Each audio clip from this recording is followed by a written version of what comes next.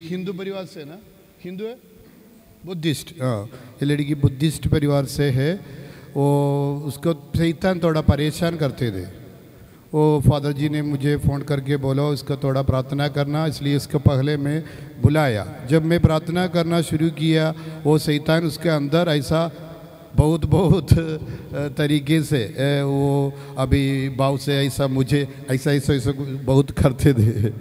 और उसके समय में मैं प्रार्थना ऐसा करने के समय मुझे मालूम हो गया इसका थोड़ा प्यार का कुछ तकलीफ़ हो गया।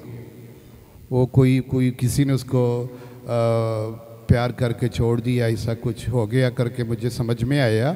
वो हाँ हस्बैंड से वो तो सब इधर आके बोलो। हाँ।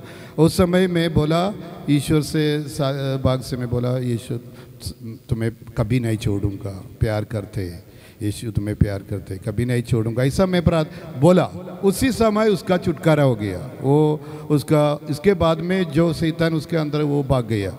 वो जब मैं कभी नहीं छोड़ूँगा, ईश्वर तुम्हें कभी नहीं छोड़ूँगा बोला, उसको ठीक हो गया। वो आके थोड़ा सा दो।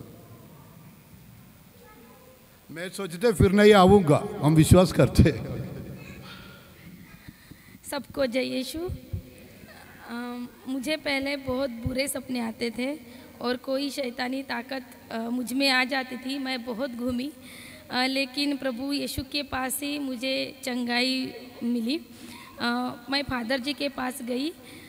फादर जी ने मेरे लिए प्रेयर किए, तभी से मैं बहुत अच्छा महसूस कर रही हूँ।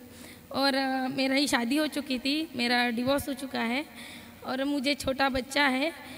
तो फादर जी ने मेरे लिए प्रेयर करके दिए, तब से बहुत शांति मिली और अभी बहुत अच्छा महसूस कर रही हूँ। इसीलिए मैं उस परमेश्वर का धन्यवाद करती हूँ और फादर जी से भी बहुत बहुत धन्यवाद देती हूँ। धन्यवाद।